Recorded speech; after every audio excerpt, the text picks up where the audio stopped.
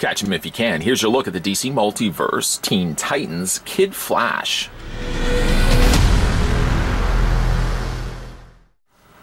Cousin of Wally West, this superpowered speedster joins the Teen Titans as Kid Flash.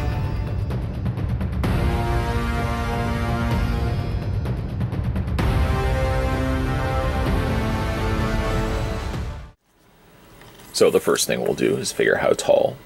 How tall exactly is Kid Flash? Well, to answer your question, if that was, by the way, the question you were asking, you're looking at 6.3 inches in height, which translates to those who favor centimeters. Here in Canada, we favor centimeters. You're looking at a figure that stands 16.1 centimeters tall. Now, to show you how that stacks up, how tall is this figure versus some of the other figures that we've already looked at? Some of the other figures only really being two other figures. This is a four figure release after all. Here he is next to Kyle Rayner. Here he is next to Kingdom Come Superman.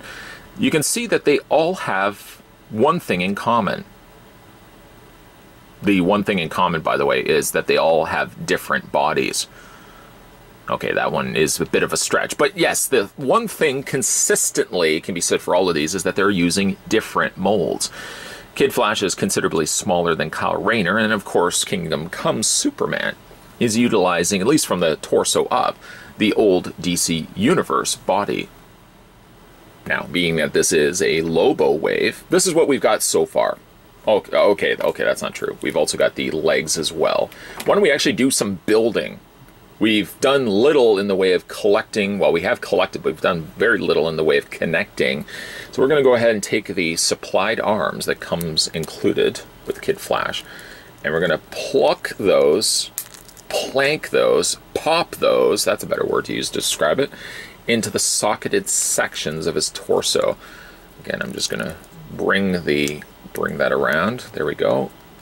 A very satisfying very satisfying if it will actually snap into place.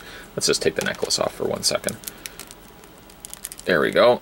That one actually, surprisingly, a disappointing snap. That didn't snap in place as well as this one right here. And uh, there we have Lobo. Now we can go ahead and add the necklace. We're still, of course, missing a head, missing the lower underoos, and then from there we can then add on to the legs. Still going to be a pretty small looking figure, sadly. I know I'm sounding like a broken record here. There's the front, there's the back. Uh, one other thing that he comes included with, although he's not going to be able to see what he's swinging this at, he comes with this hooked chain. Now, I love the fact that the chain feels like it's metal chain, like it's not plastic. It has a natural drape and flow to it that real chain would have. Um, again, it would look great eventually when we can get this guy put together. I'm guessing a little birdie has told me it's probably likely the next review where we're going to finally see something coming into fruition when it comes to this guy right here. So for the time being, this is all we got to work with. Oh, oh, oh. And then, of course, a couple of legs as well. We will move that over to the side. We will proceed with the rest of this review. Kid Flash also comes included with a pair of flat palms, ideal for running if you want to have him running. Now, if they do look somewhat familiar. Let me just grab, this is the closest hand I had to me here. Uh, they are what looks to be Superman's hands, just shrunk down. I can't help but notice that even like the lines on the palms are identical to one another. It would make logical sense, of course, for Mattel, making as most use out of their molds as possible, to just take the same mold, shrink it down even further, and then fit that into the socket. Because I mean, really, after all, the pegs can stay. Well, even like the pegs are a little bit differently as well. But it does look like it's the same hand, minus for a fact, the Superman hand has a big line. I don't know if you can see it running around the, the front, running around this side, I should say, right here. It's a little bit more obvious on this hand here. You probably can see this big line cut right across there. So it does seem like they are the same hands, just a little bit smaller. If you want to change out those hands, just pop the peg out, finding the appropriate hand. There we go. These ones are very easy to pop out. Take that one out and replace it with this one here. And now you've got, bend his elbow here. There we go. There we go. You've got Kid Flash with the ability to run. Now, of course, all of this comes into play better if you have the mean, the meaning tools, the meaningful tools to actually be able to pull this off. He, in theory, does have a peg on the undersides of his feet. One here, one here. But unfortunately, he doesn't come with a display stand. So even though a great looking pose, uh, certainly an eligible pose for the way I want to display this figure, unfortunately I don't have a necessary stand. Not included at the least, but I could probably find one kicking around here. Or maybe I might do this uh, in final looks, just a little, little FYI. Birdie's going to be, Birdie just told you that. You told us that. Well, okay, I, I told you that. Uh, I'm going to go ahead and just take these hands out. Something creepy about a figure just standing there in a museum pose with flat hands. Like, I don't know what he's doing. Is he planning something? Is he strategizing some big master scheme? Just creeps me right out, so I'm going to just replace those hands.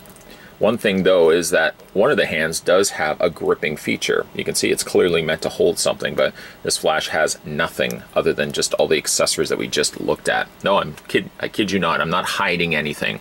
Oh, it's right over there. No, it no, it's it's not it's not over there. Don't even want shouldn't even want to tease that. So let's have a look at the figure, and uh, really, again, I'm quite impressed with this line. Uh, Kid Flash does have some great coloring to him. He he actually seems to break that trend of yellow painted, yellow plastic figures where they don't look like the paint is either not finished or like the yellow seems like it doesn't match to itself. Here, actually, I think they've done a pretty good job of matching even like the yellow in his mask to that of his torso. I mean, it's not dead on, but it's pretty close when you consider some of the other horrible yellow plastic figures that we've gotten before under the DC Universe line. This one actually fares quite well. Love the additional panel lining. Yes, uh, one of the obvious little nitpicks eventually I'll mention here. I'll just mention it right now. The yellow on the red plastic doesn't quite jive with what's happening up here. It's, it's a little on the off side. But, you know, from a distance, I don't think it's as bad as, again, some of the other ones that we've seen before. At the very least, I don't feel like they would have gone the efforts to put the black panel uh, outlining there around the gloves. They probably would have just painted those in. I believe even like one of the worst culprits of this was a Kid Flash from the DC, again, the DC Universe line. Um, he's got the logo there done on the front. And pretty clean, again, logo. Head sculpt's looking good. I think I might actually have, basing it from the source material, I might have actually just brought the shade up on his skin tone, just one shade up. I think it's just a little too dark. Just like one shade up. Because I don't think it, it complements the yellow well. And if you look at the box artwork and even like the prototype figures, I think actually the skin tone was just one shade lighter. As a little extra nod, I love the little lightning bolt that they've put into his hair there. The ears are a soft plastic. I don't feel there's the risk, the jeopardy that these are going to be breaking off. And it gives you something to do in the afternoon. You know, if you're just waiting for lunch to finish and mom and dad haven't called you down yet, you can just basically do this. Just for the next 45 minutes. I'm not going to do that for the next 45 minutes. Proportionally, he is a very slim figure no doubt making use of molds that we will see with some of the whatever's left of these waves before McFarlane basically takes over. Um, he's got some nice treading, some pretty cool looking shoes, I have to admit. This is something that you easily would have missed because the figure half the time is probably going to be standing on his feet anyways. It's just neat that they would add all this extra detailing there on the under treads. In addition to that, I like also that his feet don't just use a regular foot. They've instead sculpted a heel and they've sculpted an additional front piece to his foot. And even then, they've raised additional little, these little line blips there on either sides of his shoes. Well, again, I really like that. He's a, like I said, he's a really clean looking figure using really elements that by history have what, what history has told us um, these are just always problematic colors that the two of them never mix well, and usually any figure that has yellow and red collectively together, where a lot of it is yellow, it's just a train wreck. Kid Flash, on the other hand, though, actually does look really good. I like that, again, the head sculpt paints very, very clean on this guy. And if even if you can overlook for the fact that the yellow doesn't quite jive with this section right here. He feels very complete. Like it feels like he went the full length of the painting line, and they just just just, this just didn't abruptly stop, go for their lunch, and pack whatever was finished as it was. Let's have a look at his posability. His head rotates all the way around. It hinges also up and down. I noticed when you hinge it up and down, it does have a, can you hear that? It's got this clicking sound to it. It must be catching itself on a bit of plastic, maybe on the interior of its neck. Needless to say, like I said, the head rotates all the way around. Being again, not going to do this all afternoon. That would be crazy. Uh, these are soft, so again, you don't have to worry about those breaking off on you. Upper torso crunch, waist swivel. The arms go out. You can also rotate the arms all the way around. Has a rotation in the bicep, which in theory allows the arms to rotate all the way around. A hinge on the elbow, slightly a little bit more limited, unfortunately. It for what it is, it does allow the the arm to bend to about there. Um, this just doesn't give you nearly enough of a hinge right there on the inside. If it was just a little bit longer, you may be able to bring the arm up just a little bit more. Does cause for a little bit of a cut, but we're not going to nitpick the small details that our hands rotate all the way around and you can hinge them back and forth. Uh, for the legs, the legs split, split, split, split, split, and uh, they go forward, they go back, swivel on the about three quarter cut on the thigh, a double hinge on the knee, which I love the fact that these are double hinges. Feet go back and forth, and yes, slightly, well, a bit of a slight, a little bit more of a slight. There's an ankle rocker there as well. Yeah, really a fully finished, fully realized Kid Flash. Digging the look of this guy. Do I like him, say, as much as Kyle Rayner. Now, Kyle Rayner sort of is setting the bar if anybody's keeping score right now. My own score is telling me that Kyle Rayner sort of is ahead in the lead here in the polls, but Kid Flash comes very close. One thing to his credit is he's very bright. He's got a lot of colorings to, uh, to him, and none of the plastic in the yellow, nor is the paint messy. Like I said, this guy feels fully finished all the way around. In Final Looks, I'm utilizing a circular clear display stand. You're probably seeing it right now. That's the only way I can get Flash in any bit of a dynamic pose, because normally the figure, just by the way he's designed, doesn't allow for a figure to do this just bouncing on his own. So I'm using a clear stand to balance the Teen Titans member, Kid Flash, and he does look quite good. I wish these guys could come with display stands. I don't feel like I'm really asking all that much as a reviewer or a collector of these things myself. I would love to see more display stands utilized.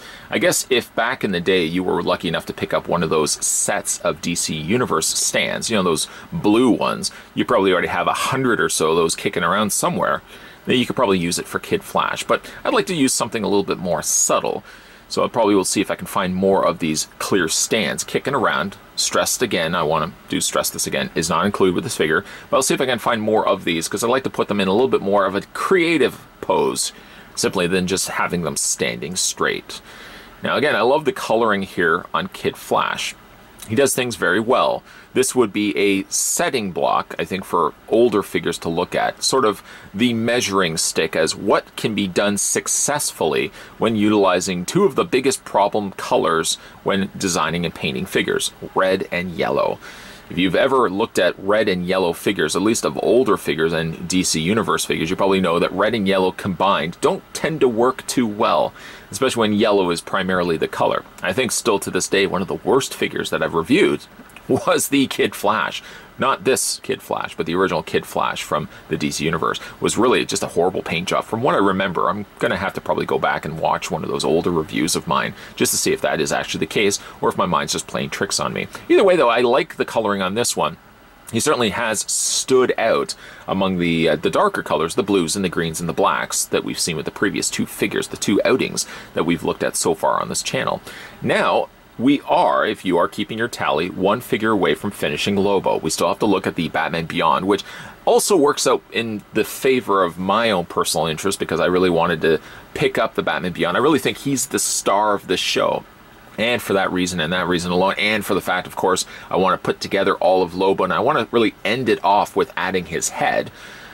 uh, we're also looking at Batman Beyond. So it's sort of a twofold that Batman Beyond ends up being the last figure that we're going to have a look at. Scratch that. The last figure we're going to, of course, have a look at is Lobo when everything is put together. Either way, if you guys are interested in picking up this set for yourself, it's a small enough set so it's easy to find if you can find it in your local retail stores. Today we were having a look and continuing our looks at the DC Multiverse. This was the Lobo Collect and Connect, and this was Teen Titans Kid Flash. Hey you! Yes, you, the guy in the back. The guy that's looking around right now to think I'm actually talking to you. Yes, I am. Yeah, you, you, sir. The one with the blue scarf. I don't know why you're wearing a blue scarf. It's summertime. But if you haven't, hit that little subscribe button down below. He's currently pointing at himself. Me, he says? Yes, yeah, you. If you haven't hit subscribe button down below yet, what are you waiting for? You, specifically, sir. Or I'll just pretty much address the entire audience. If you guys haven't hit that little subscribe button, you know the one that's just below this video yet, you know what you're missing out on?